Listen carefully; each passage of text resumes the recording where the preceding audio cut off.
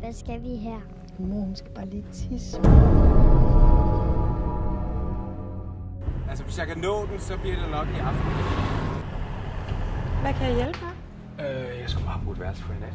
Ja? Er det kun dem? Ja, Ja. det er bare Jeg hedder Natasha. Собираешь манатки, чтобы ты не ждал там у двери.